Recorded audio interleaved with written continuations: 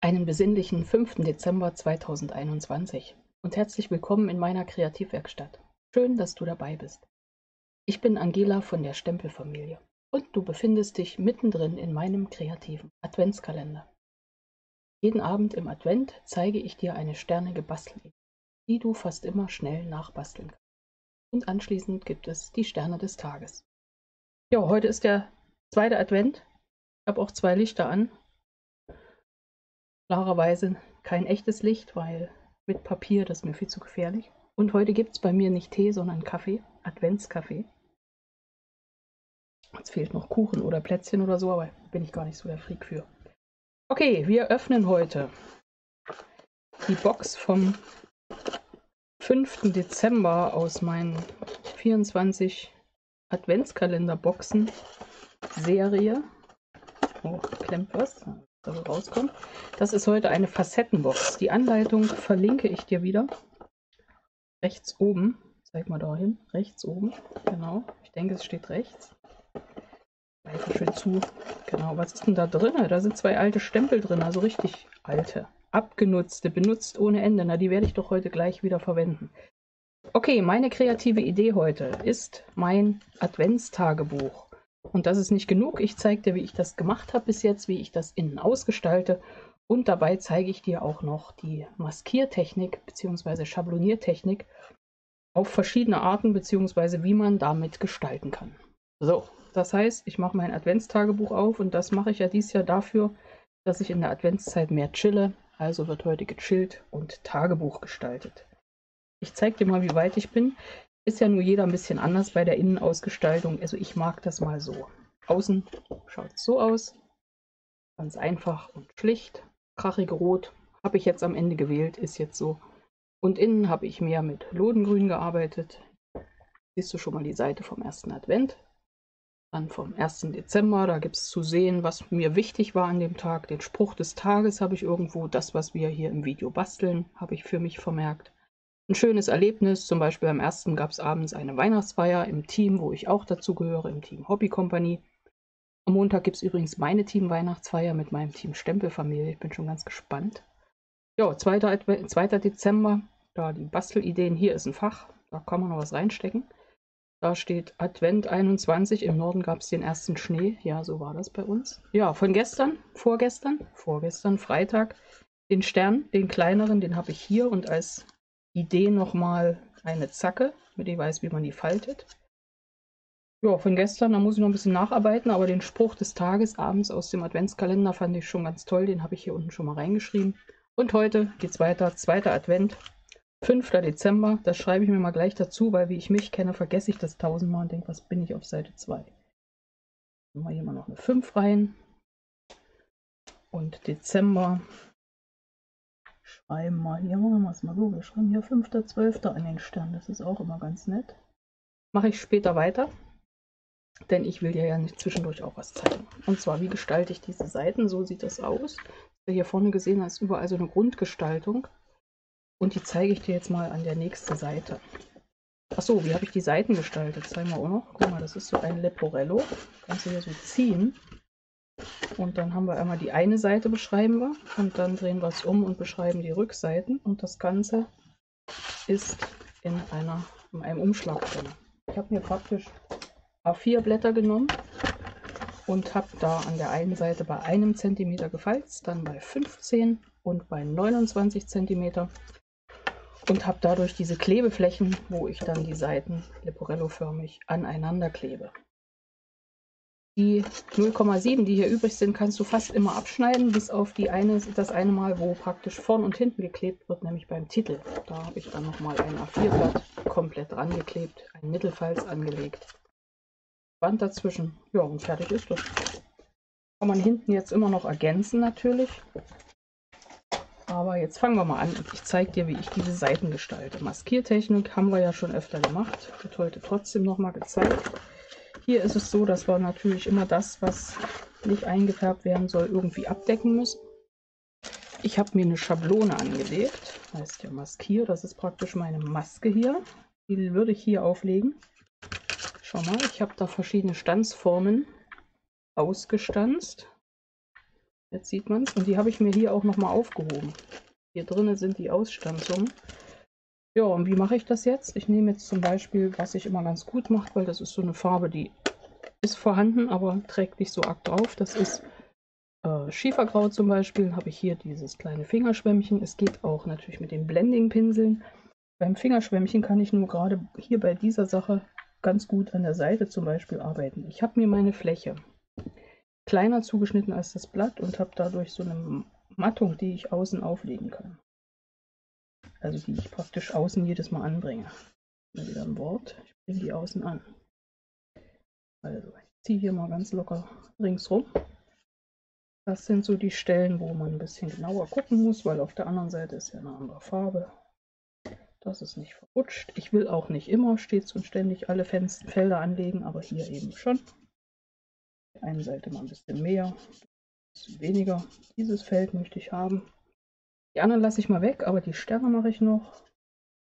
In den einen Stern hier kommt meine große Zahl rein. Habe ich mir überlegt, die kann ich immer anders gestalten. Mal in römischen Zahlen, Strichen, mal in Kreisen und Punkten. Mal sehen, was mir da noch so einfällt. Und schon habe ich diese Grundgestaltung auf meinem Blatt. Warum habe ich mir die Formen aufgehoben? Das ist ganz einfach. Würde ich jetzt nehmen. Zum Beispiel diese Form. Einmal abwischen, weil ich benutze die ja beidseitig, wie du schon gesehen hast. Lege ich hier auf. Und jetzt nehme ich mir das Stempelset Entweder finde ich es oder ich finde es nicht. Doch, ich finde es. Kleinen Moment. Und zwar hier das Veri Versé mit dem großen Schriftblock. Das setze ich hier drauf auf den Block. Und jetzt maskiere ich praktisch andersrum. Auch nicht den ersten Abdruck, aber den zweiten. Hier oben passiert noch nichts. Aber hier lege ich meine mein Feld auf und kann jetzt praktisch so stempeln, dass das Feld ohne Schrift bleibt. Und das ist die Übung des Ganzen. So, und hier oben bei den Sternen schaue ich mal, ob ich den Stern kriege, weil den möchte ich auch leer haben. Bei den anderen Sternen trifft es mich schon wieder nicht so sehr, aber den möchte ich hier leer haben. Auf und fertig ist das. Ja, so ist einfach die Grundgestaltung und dann kann ich eben außen drauf weitergestalten, wie ich mir das denke. Das wäre jetzt die Seite für morgen. Nikolaus kommt bestimmt noch ein Stiefel irgendwo drauf, dann packe ich mir das hier wieder schön ein. Und so sind meine Schablonen immer gebrauchbar. Lege das mal dahin. Ich glaube, ich habe noch eine Idee mit der Schablone, nämlich heute. Ich hatte letztens mal diese Technik schon gezeigt und habe mit ganz vielen Sternen gearbeitet, farbig und auch mit Weiß noch. Und das ist praktisch die Maskiertechnik mit der Bouquet-Technik zusammen.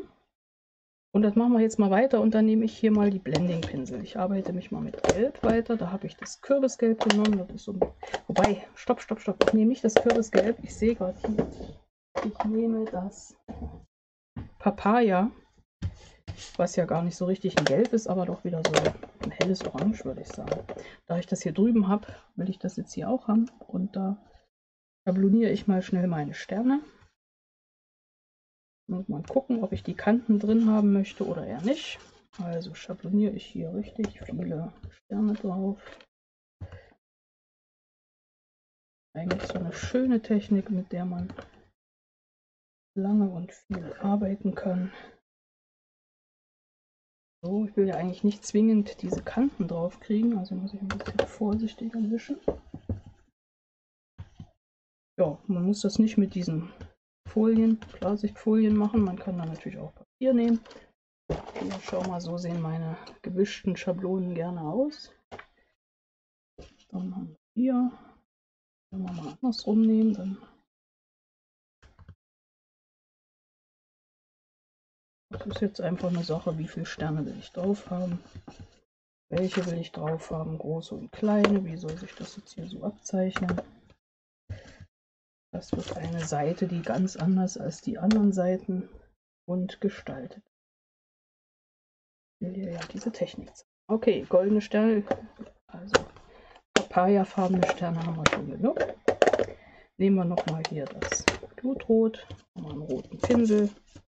Die Sternenschablone geht weiter. Ja, und die Sterne überlagern sich hier so ein bisschen. Es soll einfach ein buntes Sternenbild werden. Mal ein bisschen gucken mit so Rottönen, dass es nicht rosa wird. Es sei denn, man mag rosa, dann muss es natürlich rosa werden. Ich mag das ja nicht so, wie wir wissen. Jo, weiter geht's. Und dann setze ich zum Schluss am besten noch einen Grünton drauf und dann nehmen wir hier das Celadon, weil das Lodengrün wäre mir dann doch zu dunkel. Ja, für solche Alben und Scrapbooking und hast du nicht gesehen, kann man wunderbar auch die Stampin' Breitmarker verwenden. Glaube, das Lodengrün muss mal nachgefüllt werden.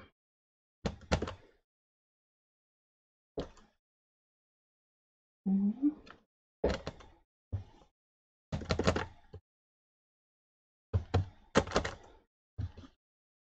Siehst schon. Aber ein bisschen dunkel kriegen wir das drauf. So.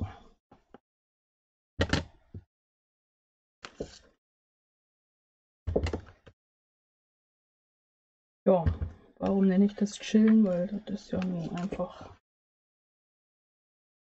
oh, vor sich hinsitzen und gestalten und an schöne Sachen denken ein bisschen runterfahren, würde manch einer sagen.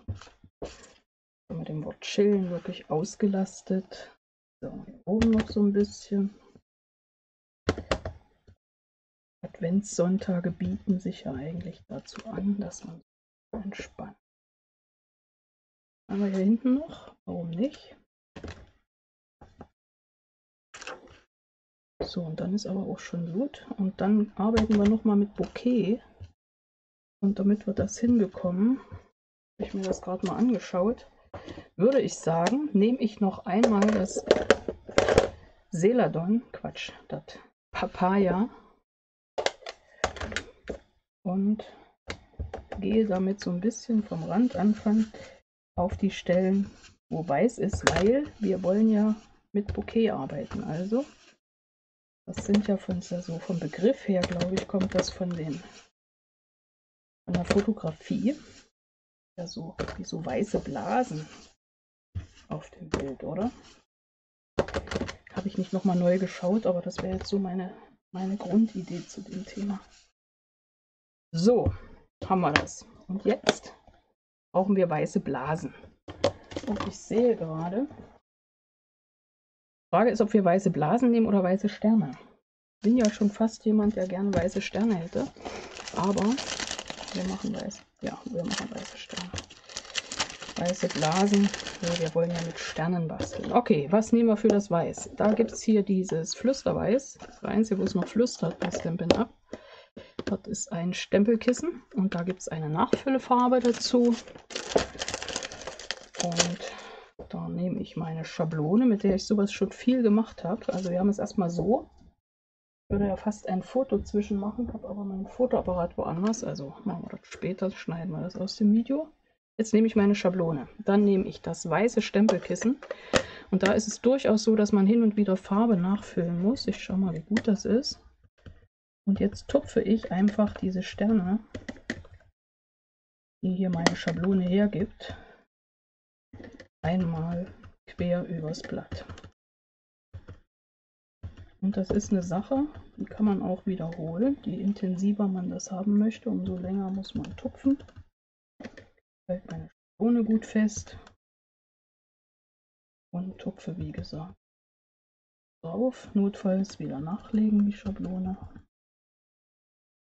Aber ich bin hier ganz gut am Halten. So, du siehst, wie Sie sehen, sehen Sie nichts. Ich tupfe nochmal los. Jetzt müsste man das immer so ein bisschen zwischentrocknen lassen, damit man nicht beim nächsten Tupfen die Farbe, die schon drauf ist, wieder runterzieht. Aber ich glaube, den Effekt siehst du trotzdem ganz gut. Kann sein, dass ich das dann später nochmal nacharbeite. So, und nun ist das ja so, das ist ja wieder Video so, dass ich das nicht zusammenschneiden werde. Das heißt, die tollen Stempel, die ich da heute aus meiner Kiste geholt habe, die kann ich dir gar nicht zeigen, wie ich die anwende. Hier die alten Stempel. Ich zeige dir das gleich nochmal auf der Seite 1. So, ich hebe das mal ab. Ich werde das nachher nochmal nachtupfen. Aber ich halte es mal hoch. Und du siehst jetzt zwischen den bunten Sternen sind die weißen Sterne. Und wie gesagt, wenn das nachher nochmal getrocknet ist, kriegt das noch eine dritte Schicht oben drauf. Ich lege meine Schablone dann einfach wieder drauf. Hier ist einer, der hat wirklich nur eine Schicht gekriegt. Wo ist er? Ja, hier. Nochmal eine drüber gebraten. Ja, und damit habe ich dann diesen Bouquet-Effekt hinbekommen. Nehme ich ab. Wie gesagt, ich mache es später nochmal nach und zeige dir es dann an einem der Abende. Und was ich mit den Stempeln mache, nicht drauf, nur halb drauf, das zeige ich dir hier im ersten Advent. Da siehst du hier die Kerzen habe ich hingestempelt. Und hier oben Advent. Und vielleicht gibt es ja auch noch mal ein Bild für einen Kaffee. Mal gucken. Aber das ist meine bunte Seite. Für den 2. Dezember. Ja, das war das, was ich dir heute zeigen wollte. Meine Idee. Und jetzt viel zur gemütlichen Stimmung. Ist ja nicht nur ein Keks, ne? Aber war ja nicht. Gut. Kaffee. Und dann kommen wir zu den wichtigsten des Tages, nämlich den Sternen des Tages.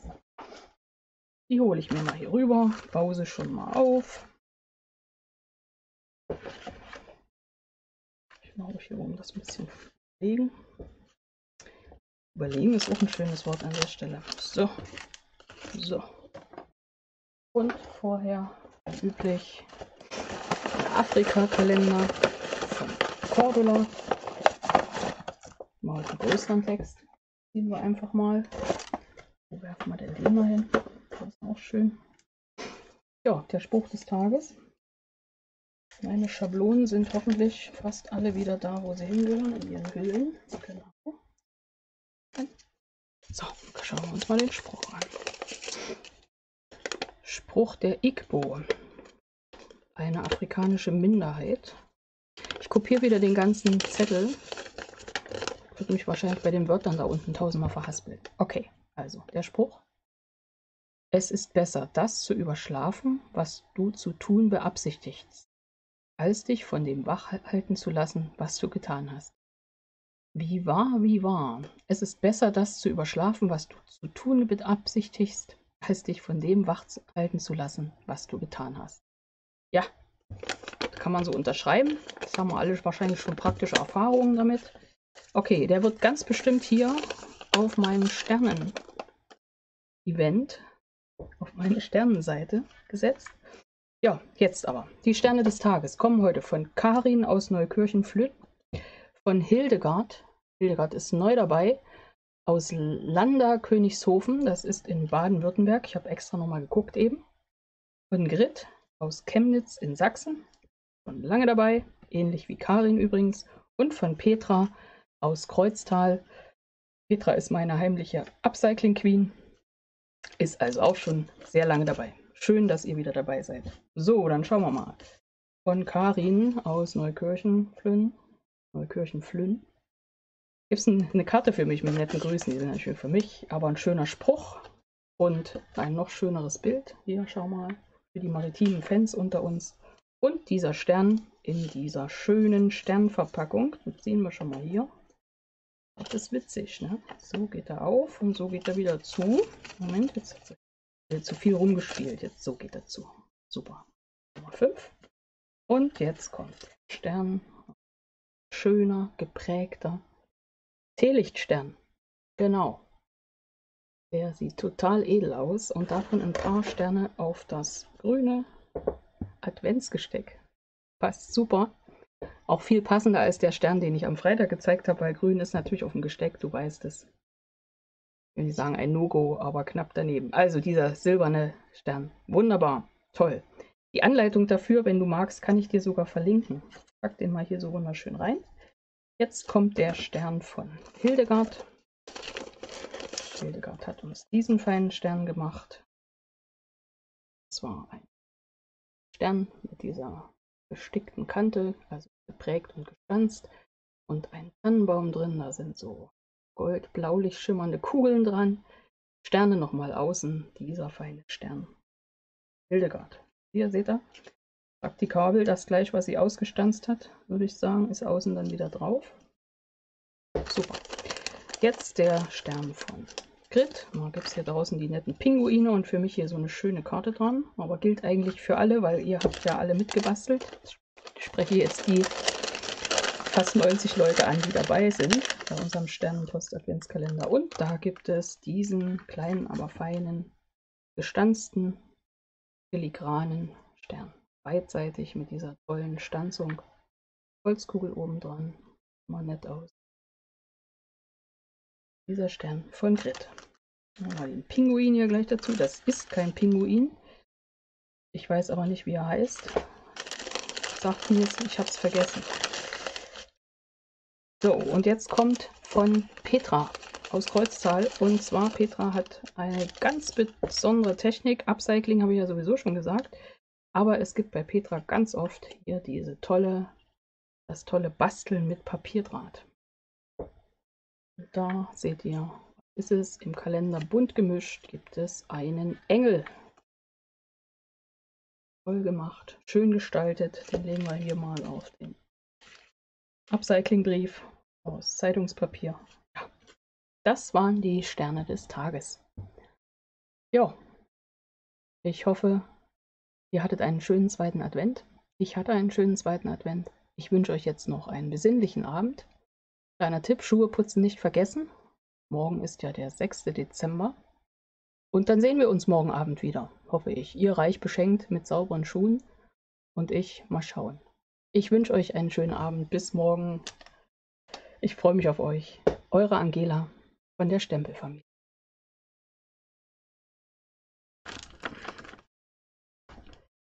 Kreativität verbindet. Glaubst du nicht? Was haben Petra aus Kreuztal, Brigitte aus Österreich oder Irmtraut aus Neumünster gemeinsam? Eigentlich nichts und doch so viel. Sie und viele andere waren in diesem Jahr wieder dabei und haben Sterne und Adventsdeko gebastelt. Jeder 25 Mal den gleichen Stern. Seit 2015 lade ich schon dazu ein, gemeinsam mit mir kreativ zu werden und mir selbst gebastelte Sterne zu schicken. Geklebt, geprägt, gestanzt, geklöppelt, aus Papier, Filz, Wolle, Draht, egal wie. Jeden Stern einzeln verpackt in einem Umschlag. Dieses Jahr gab es wieder über 80 Teilnehmerinnen. Entstanden sind 96 Sternenpost Adventskalender. Hier werden dann alle Sterne neu sortiert, umgepackt und an die fleißigen Sternenbastlerinnen zurückgesendet. So entsteht kreative Adventsfreude, Glück und Zufriedenheit bei allen Teilnehmerinnen, im besten Fall. Also stimmt es. Kreativität verbindet, auch in diesem Jahr. Euch allen eine besinnliche, kreative Adventszeit.